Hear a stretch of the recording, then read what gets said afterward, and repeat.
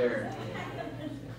Welcome. I'm just uh, go ahead and get started on uh, this year's CCD program from first to fifth grade. It's good to see everybody here, and uh, got some new faces and faces I know from last year. Got some probably first graders, kindergartners, and uh, great to have everybody uh, here. So what we're going to do is just uh, kind of do an overview of uh, what the kids will be going through tonight, and then we'll also be overviewing a little bit of what the two chapters would be about that you would go through them and, and with them. And the only difference is we're just doing this at on an adult level to help you guys grow in faith as you help your kids uh, grow in faith. So it's kind of just a uh, church partnership with you guys uh, with uh, CCD. So it's definitely important, you know, for uh, children to have their kid, have their parents, uh, you know, bring them up in the faith, to see their parents practice the faith and uh, live out the faith. And so we'll just be going through some uh, easy ways to be able to do that, as well as just providing some uh, knowledge of our uh, faith as well. Tonight's we'll be talking about divine revelation, faith, and prayer, and how all those three relate. And uh, so we'll just start with a little prayer in the name of the Father, the Son, the Holy Spirit. Amen. Almighty God, we give thanks for all the gifts you've given us this summer. We give thanks for our families. We ask you to please bless these parents and their children as they keep growing closer to you, Lord Jesus. And we ask this through Christ our Lord. Amen. In the name of the Father, and of the Son, and of the Holy Spirit. Amen. And just uh, real quickly, uh, one of the neat things about God's divine revelations, He can reveal Himself to us in many different ways. I'll talk about those. And then faith is our response to God revealing Himself to us. And faith is actually a gift from God, and then and then on our part, um, we respond to that gift of faith that we're given. So we have a free choice and an action to take in response to God's revealing Himself to us. And then uh, prayer is another way that we can stay close to God and experience His divine revelation. So uh, in the chapters, there's always a little scripture passage because we always want to stay connected to Scripture. That's God revealing Himself to us. So you guys would review a little scripture passage with them, and there's a couple questions regarding the uh, scripture passage. So tonight, uh, the suggested one uh, was uh, Psalm 63, verses 1 to 6, and then verse 9, but I want to include verse 7 and 8, so this is a little bit different than your uh, handout. So as I read this uh, scripture passage, just maybe uh, kind of seek a quiet place in your mind and see what word or phrase or sentence maybe uh, sticks out to you in your mind, and that's something that you maybe think about later on as well. So this is uh, from uh, King David in the Old Testament, Psalm 63. It serves a, a psalm of David when he was in the wilderness of Judah. God, you are my God. It is you I seek. For you my body yearns. For you my soul thirsts. In a land parched lifeless, and without water. I look to you in the sanctuary to see your power and glory. For your love is better than life. My lips shall ever praise you. I will bless you as long as I live. I will lift up my hands, calling on your name. My soul shall be sated as with choice food. With joyous lips, my mouth shall praise you. I think of you upon my bed. I remember you through the watches of the night. You indeed are my Savior, and in the shadow of your wings I shout for joy.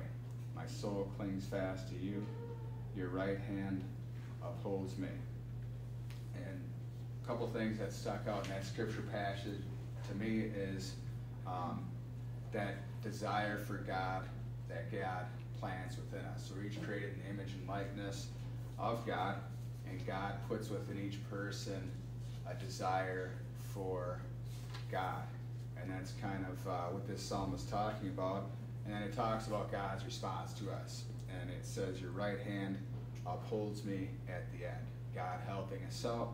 And even as the psalm says, when our uh, lips are parched and uh, we're in a difficult place, a land parched, lifeless. So we can sometimes experience that at different points in life, and God is there to help uphold us. And then we're also on for seeking God in those uh, situations. And uh, so, as far as uh, God revealing Himself to us, it, as far as divine revelation goes, God reveals Himself to us in the beauty of creation. We see sunsets, might go to a lake, see different things, beauty, mountains with snow on them, and uh, think, wow, that's amazing. And uh, that can draw us closer to God. Uh, our relationships with people can draw us closer to God. Other people can draw us closer to God. We might notice um, the faith of a person that we know, and just seeing their witness of faith and their words or actions can draw us closer to God as well. Our prayer life can draw us closer to God.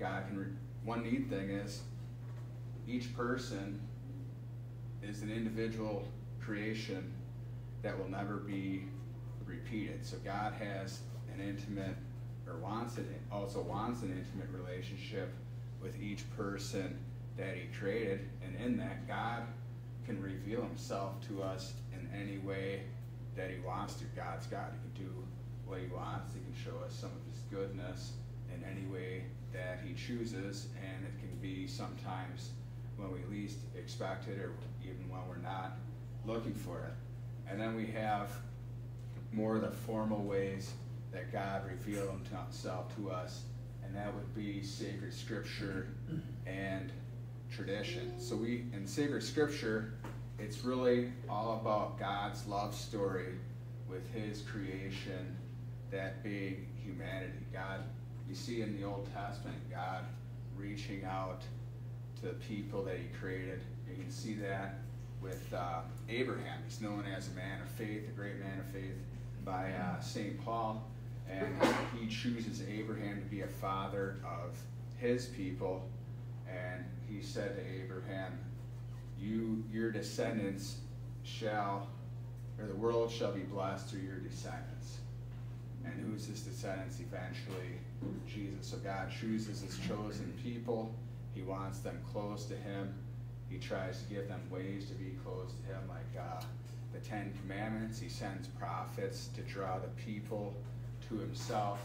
And the ultimate divine revelation is the Son of God, Jesus. And Jesus uh, reveals in a very deep way what we see in the Old Testament as well, which is God's divine love for all of us, each and every person. And uh, we see that in Jesus' teachings that we have written down. We see Jesus' love and the miracles that he did. He helped every single person who asked him for help, and that's a great example for us to consistently go to help, go to him for help in prayer when we need help. And then the miracles that Jesus did, those the purpose of those were to help the people believe in his teaching. And also I think in his heart you know, what he's seeing in the people that asked for his help, he's seeing the disorder that original sin caused, that being sin, death, you know, the different diseases, and uh, it talks about demonic possession in there, and he wanted to make things right whenever pers- a person asked for help. So those miracles help people to believe in all these things that Jesus taught. And the ultimate example of uh, Jesus' divine revelation of God's love for us is uh, uh, his death on the cross. That speaks really louder than anything because the purpose of him doing that was to draw all people to himself and show us that we have a God who loves us deeply and is willing to suffer at great lengths for us. And in Jesus' death, he gives us freedom from sin and then that gift, great gift of eternal life. So we're not only, you know, asking for help today, but moving forward, you know, obviously you ask anybody, do you want to go to heaven? Yeah. So we want us, yourselves, your spouses, your kids, all of us being that great community of saints in heaven. God gives us that desire to be close to Him and also that desire to be in heaven with him. And then after Jesus dies, we see the early church. Jesus trains the apostles for three years. Jesus is only in ministry for three years. He trains his apostles to found his church, and in that we see in the Acts the apostles them doing exactly what Jesus asked them to do at the end of the Gospel of Matthew, where he says, Go teach the commandments and baptize the nations in the name of the Father and of the Son and of the Holy Spirit. So when they went to these cities that didn't know Jesus, they taught about Jesus, and people freely uh, accepted what they had to say, and they were baptized and became part of the church. And I think one thing that can attract people to Jesus is I think within people we have a desire for truth. Like, what is the ultimate truth? And through that desire for God that God gives us and the faith that God gives us, deep down when we search, we'll know what the truth is. And uh, that's another gift that Jesus gives us is that uh, conscience, that desire for the truth, and the ability to know the truth. So I think when people heard the apostles teach about Jesus, they saw something there in what they were saying that affected their hearts in a deep way, and they wanted to make that commitment to be uh, Catholic, and that's uh, really neat. And the apostles on the, on their side, if I was them, I'm walking into a town that doesn't know Jesus. You know, some of the towns around Middle East did where Jesus died in uh, Jerusalem, and you'd think, how are these people coming to believe? And I think the answer would be God working through those people, drawing them to God, kind of like what I was saying at the uh, beginning. So that's uh, just a little bit on Scripture that God's divine love story and God taking the point and He shows He literally wants to seek people out. That's, that's what He did in the Old Testament, the, the New Testament. See people out, draw people to Himself, show them He's a loving God. He cares for them, wants them close to Him, and He will help them. That's what Jesus showed in his life, and that's what the ministry of the apostles continued, and that's what the church continues as well. You know, we want to constantly reaching out and bringing people to the love of uh, Christ. And then lastly, I'll mention uh, tradition. So you have scripture on one hand, and then you have tradition. So when you think about, I mentioned Jesus with the apostles for three years. Think about all the discussions that he would have had with them teaching them how to read the Old Testament. It says that the, after he died, that Jesus opened their minds and their hearts to understand the scriptures, and in the scriptures, he taught them how the law, the prophets, and the Psalms, what those have to say and what they say about him. So the Old Testament's very connected with the New Testament. Jesus quotes the Old Testament many times and like Advent, we'll hear in the first reading from the Old Testament, we'll hear about how the prophets or the law or the Psalms, maybe not the Psalms, they sing the Psalm, but uh, we hear about the different prophecies about the birth of Christ. And some of them are just like dead on, talking about a virgin being with child. And then in Lent, in the first reading of the Old Testament, we hear what the prophets have to say about the death of Jesus. Like the prophet Isaiah, he says exactly what happens in Jesus' death. And then we also see that in the book of uh, wisdom. So those are some uh, scripture connections. So getting back to Jesus talking to the apostles, so he's talking with them for three years you can't fit all those conversations into scripture right? And uh, so then, what St. John wrote at the end of his gospel, he wrote, There are not enough, there is not enough room in the world con- to contain the books about the works of Jesus. That's crazy. So the that's where the tradition fits in, where it has to do with the teachings of Jesus, then also the early practices of the faith. So just to give an example about the Mass, so like we have the words of consecration, the Eucharist, where the priest says, "This is my body given up for you. Do this in memory of me. This is my blood, blood new covenant. Take away, uh, or for the forgiveness of sins. Do this in memory of me." We see that in the Gospels at the Last Supper. St. Paul repeats those same words of consecration twice in his letters, and then he talks about celebrating the breaking of bread in people's houses because there weren't churches yet. So that's what we have about the early Mass. And then in the year 100, which St. Paul died in the year 65, in the year 100, we have a writing from a guy named Justin, St. Justin Martyr. And he wrote a letter to the current Caesar, the current emperor of the Roman Empire, about Catholicism. Because early on, the Roman Empire said that Catholics were atheists and they were uh, persecuted because they did not worship the Roman gods. They did not uh, call Caesar God.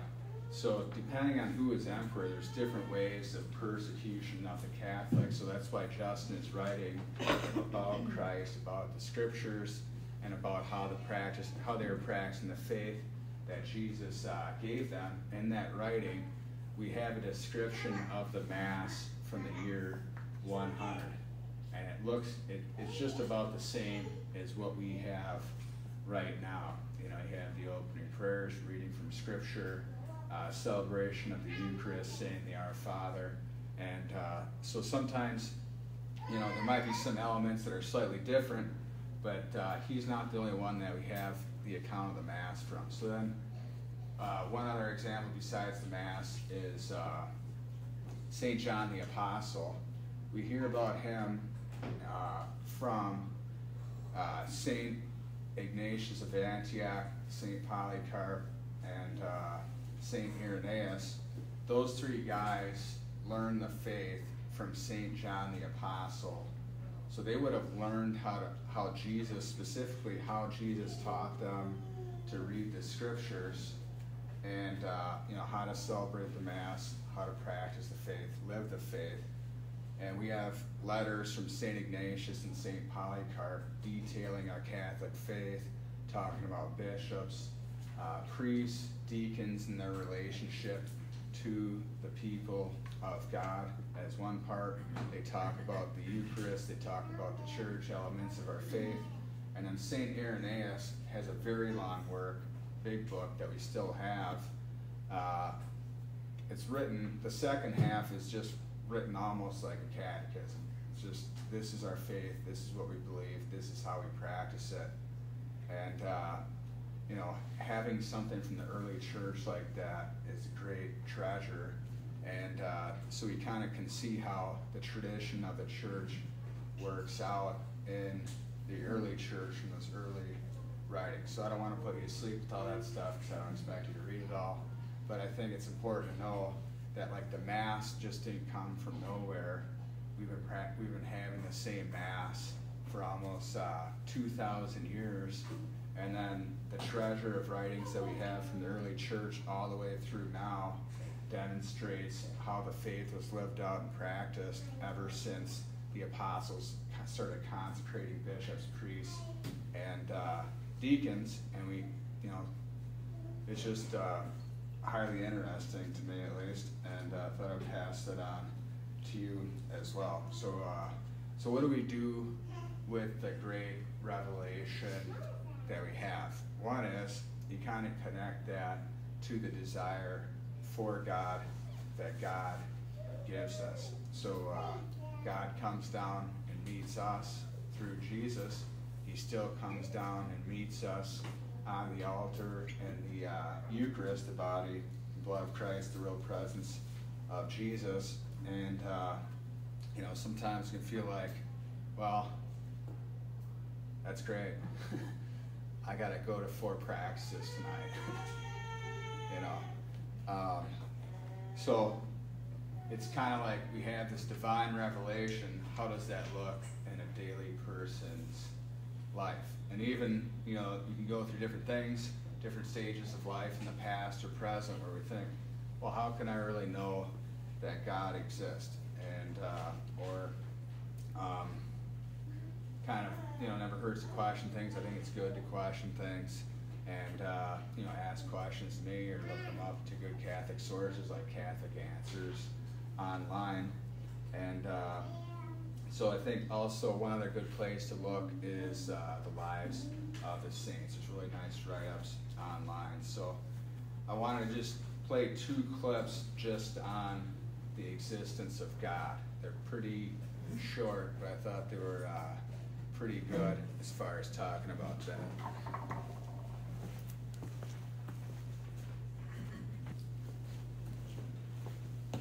I kind of like what he had to say, a couple scripture references there, and I, I think it's interesting that it points towards a little bit of what I was talking about, God wanting that relationship with us. It almost seems uh, impossible that something, somebody as great as God, wants to, desires to be that close to us, where He knows us inside and out. He knows our heart, knows our soul. Mentioned, uh, you know, He knows when a sparrow falls to the ground. He knows how many hairs are on our head.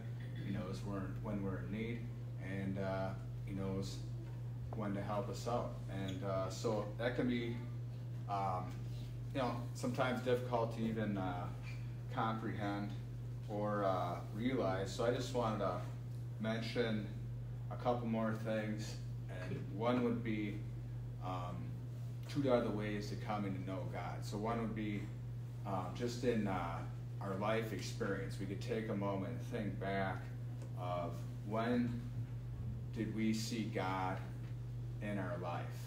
And a couple examples might be one, you know, maybe a mother holding uh, a new child and seeing the beauty of creation, the beauty of the child, and giving uh, thanks to God and seeing God in that moment. Or I have a lot of experience with uh, people, unfortunately, getting different unfortunate diagnoses and you know they have varying levels of faith. They may you know have a deep faith. They may uh, not have prayed very much in their life and didn't feel a strong connection to god. But at that point in that time they feel called to pray to god ask for help and develop that connection with god and wherever anybody's at they you know ask me i'm always uh, going to be there you know when they uh, get a hold of me for something as serious as that and uh, the the last way I want to talk about God, besides uh, life experiences, is uh, prayer. That's our uh, intimate connection with God. That's one of the most intimate connections with God that we have available to us. There's a few different. One one beautiful thing about our faith is there's a lot of different ways to pray. We can pray as a community at Mass and uh, enjoy that, and uh, hear Scripture, God's divine revelation and uh, celebrate the Eucharist, receive uh, the love of Christ in the Eucharist, and then we have, you know, conversation with God. It's, it's great, you know, if you guys were able to, if you haven't already, to start teaching your kids about how to converse with God in prayer. It's very simple, and uh, but sometimes it's harder to start out. Like uh, couple examples would be uh, just having them say, "Well, what do you have going today?" And if it's something that's they're stressed out a little bit, you know, you can teach them how to ask God to help them out that day with that particular thing. Or as, as the day is over, if you got a little time, just say, hey, well, did anything good happen today for you? And you can say, okay, well, why don't we thank God together for it? And You can uh, start just by uh, signing the cross and uh, thank God for that particular thing that happened that day. And so those are simple conversations that we can have with God, but they have uh, deep meaning because when you see kids pray, they really mean it. Back when I was at, at, at a church that had a school next to it, if I knew somebody who wanted prayers and really needed prayers, I'd go to like the fourth grade room and I'm like, hey guys, can you pray for so and so? I just give them the first name. It's like, how is God not going to listen to prayers of these kids? You know, that's like dynamite. and uh, so that, that, then, you know, sometimes we have uh, people can utilize like prayers that are written out. You know, you got the rosary, but there's all kinds of different prayers. You might have seen them maybe at your relations' houses that are a little bit older. A lot of them like uh, having little prayer books next to their uh, chair they sit in, and they'll say some prayers that are written out because that's how they like to pray. That's an option. Um, you have, you know, praying in church, praying from the Blessed Sacrament the Eucharist. That's a good, great form of prayer. Pray, praying with uh, Scripture, like maybe I, you know, if you think about it, sometime this year, maybe just slowly read the Gospel of Luke, and uh, really doesn't take that long to do. But I'd suggest maybe just take a little bit of time each day, just go through the Gospel of Luke as just a personal spiritual practice uh, this year. That'd be something great to do in uh, praying with the uh, Scripture. So, you know, meal prayers obviously, and you, you kind of. I remember growing up, we used to say that one as like as fast as you can. Not the best way to pray. Sometimes I just like to say thank you God for the food. That's a nice prayer, isn't it?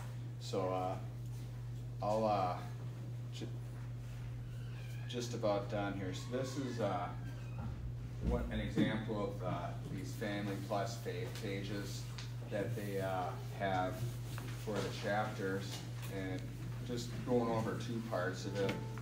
One is uh, on the upper left, it talks about Revelation and what, what's going on for the next few weeks. Then on the Let's Talks part on the top right of the first page, those are some nice little questions to get a conversation going uh, with your child just about uh, maybe some personal faith examples, but also what's in the uh, lesson. And then on the bottom, Catholics believe. That's kind of like the core of what we're talking about and what our beliefs are. And then on the second page in the lower left, there's a little prayer that you can pray, read out and pray together. And then there's some other suggestions. So last year we had talked about, you know, trying to have some type of little prayer space, maybe a crucifix and a, a little statue of the Blessed Virgin Mary. If you ever needed a place get them, I can help you out with uh, that. Just uh, it's kind of nice, you know, kind of showing them you know, this is a place you pray. You can pray in your bedroom, you can pray anywhere, but having uh, that formal spot can sometimes be a little helpful, and having a little family uh, prayer uh, ritual. And then what I like is uh, the book has examples of saints. So a saint is uh, a person who lived a heroically vir- virtuous life. There's all kinds of uh, canonized Catholic saints, whether they're uh, you know family, uh, you know mom and dad. Maybe it's a person who started a religious order. Sometimes it's a pope, a priest, or a religious sister, and they go through different uh, saints and people who lived out the Catholic faith uh, with God's help and did it in a great way. And there's pretty much all kinds of different professions within that as well. And then the saint for this week is a famous one. He's uh, Saint Augustine. He's one of the greatest uh, theologians of the Catholic Church. And him and Saint Thomas Aquinas are the top two, pretty much. But Saint Saint Augustine lived in 300s, and he lived during the fall of the Roman Empire. And he wrote some great books, but uh, his earlier life, you'd never guess that he would be one of the greatest theologians. And uh, his mother, Saint Monica, he trained. She trained him in the faith. He was. He chose not to be baptized, and his father was not baptized either. And uh, Saint Augustine was was a truth seeker, and he sought it in education. So he he uh, knew everything. He tried to know everything he possibly could. He'd go into philosophy, mathematics, everything, astrology, and uh, he was never content until he found God. So that's why uh, he has one of these famous sayings. He said, God, you made us for yourself, and my heart is restless until it rests in you. And he wrote a, one of the first books of its time. It's called The Confessions of St. Augustine. And what, that ha- what it's all about is his personal spiritual journey coming closer to God. It's in, very uh, well written and uh, interesting book, and he highlights that journey.